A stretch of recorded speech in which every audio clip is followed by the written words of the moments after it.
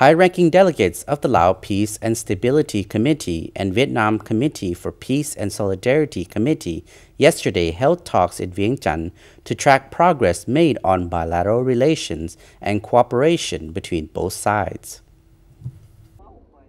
President of the Peace and Solidarity Committee, Khamphanh Simmalavong, led the Lao delegation at the talks with the Vietnamese delegation. Pham Van Truong, who is also former vice chairman of Commission for External Relations of the Central Committee of the Communist Party of Vietnam, and his delegation arrived in Vientiane on Monday for a working visit to Laos from 21st to 25th July.